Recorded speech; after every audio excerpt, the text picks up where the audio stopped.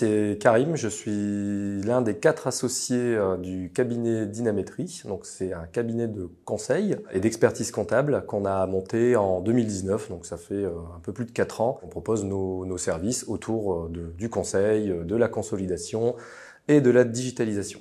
On est euh, un cabinet d'expertise comptable, hein, sauf que on est, on se différencie en fait un peu plus par la digitalisation. On a tout misé euh, là-dessus, euh, c'est-à-dire les nouvelles technologies, les propositions de valeur autour de l'automatisation, de la business intelligence, de l'IA. Donc c'est un petit peu ce qui nous différencie aujourd'hui des cabinets, on va dire traditionnels. À côté de ça, on a évidemment des, des, des activités régaliennes, hein, donc plutôt grand compte pour le coup. Donc on fait de la, ce qu'on appelle la consolidation statutaire. Donc on intervient dans la comptabilité des, des à partir d'un certain seuil de, chiffre d'affaires. Et enfin, notre, notre activité de conseil, on va dire un peu plus classique, mais aussi très polarisée euh, digitalisation, hein, où on accompagne nos clients euh, vers ces nouvelles technologies et vers l'accessibilité à un décisionnel euh, performant.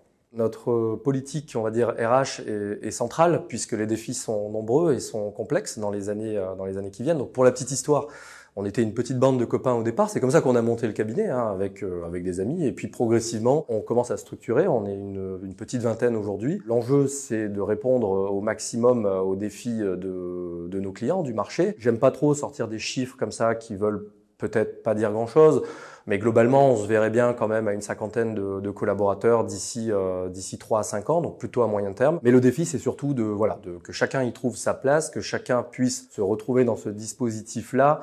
Euh, c'est plutôt ça l'enjeu aujourd'hui.